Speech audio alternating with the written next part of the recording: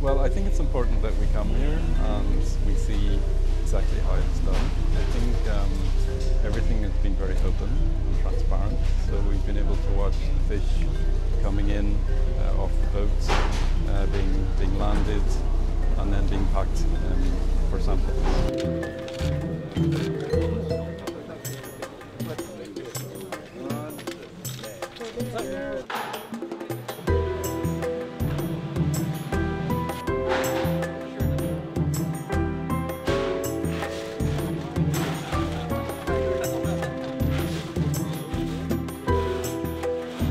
The Japanese government has requested that we, we do this, they want us to do this is to try and strengthen confidence in the data uh, that Japan is, is, producing.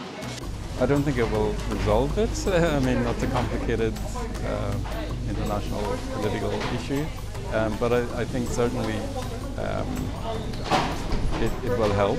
So we've had uh, two scientists here from the Chinese lab this week and they've seen every aspect of um, the sample collection so far.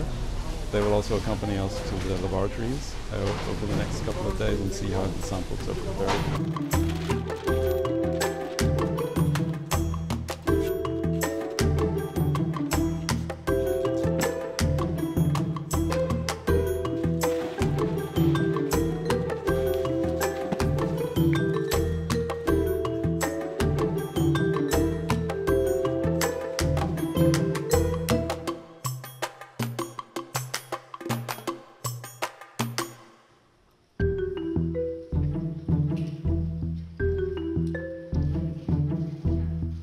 中方反对日本福岛核污染水排海的立场是一贯和明确的。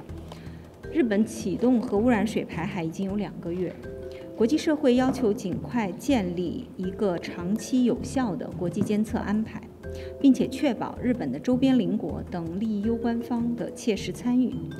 呃，我们认为国际原子能机构应当为此发挥应有的建设性作用，承担起对日方严格监督的责任。日方也应当全面配合，严防核污染水排海带来不可挽回的危害。